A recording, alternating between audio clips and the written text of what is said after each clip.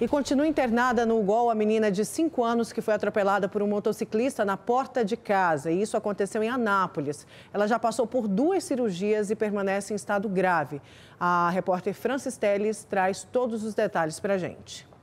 Nos braços da tia de Ágata, o kimono do projeto Construindo Campeões. A menina estava sonhando com as aulas de karatê, mas ela nem chegou a usar foi atropelada na porta de casa, no setor Santa Clara, em Anápolis. O motociclista veio em alta velocidade nesta rua aqui.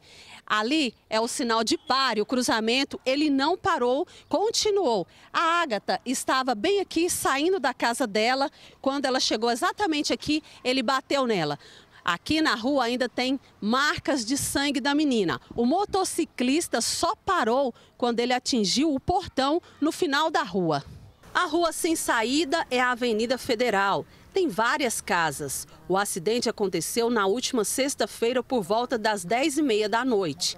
Familiares e vizinhos de Ágata socorreram a menina e chamaram a polícia militar. Na hora que ela caiu, minha irmã já pegou ela no colo, porque no desespero já pegou.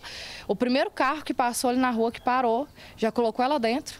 Encontraram, eles encontraram a ambulância na metade do, do caminho, chegando já no, no UPA, onde ela já, já foi socorrida. Testemunhas seguraram o motociclista. Ele diz ter sido agredido. Na delegacia, ele também disse que a mãe da criança estava na distribuidora de bebidas no momento do acidente. Mas a dona do estabelecimento nega. Ela conta que o local estava fechado. A minha distribuidora foi fechada às 7h15 da noite, na sexta-feira, porque o meu neném deu febre. E eu fiquei sabendo do ocorrido no outro dia, 5 horas da manhã. Aí ela alegar que eles estavam aqui bebendo e deixou a menina sozinha no meio da rua, isso é mentira. Ágata tem 5 anos, é a única menina da família. Tem um irmão mais novo e três mais velhos. A mãe está com ela no hospital. De Anápolis, ela foi transferida para o Gol, em Goiânia.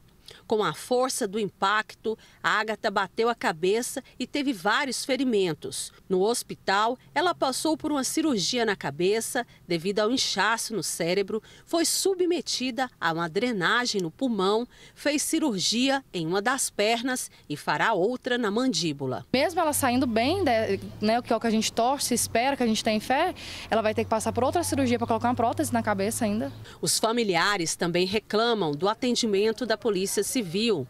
Segundo a tia, eles não receberam atenção para registrar o boletim de ocorrência e um homem que atropelou Ágata foi liberado no sábado pela manhã. Enquanto ele já está em liberdade, ela está em cima de uma cama, ela está entubada, ela está sedada, então se ela está toda quebrada, ela está toda machucada. Familiares e vizinhos pedem mais sinalização no local. A gente está precisando de quebra-mola, está precisando de faixa de pedestre, por causa das crianças, né? Aqui tem escola aqui perto, passa criança todos os dias e a rua aqui é muito estreita, então é muito perigoso.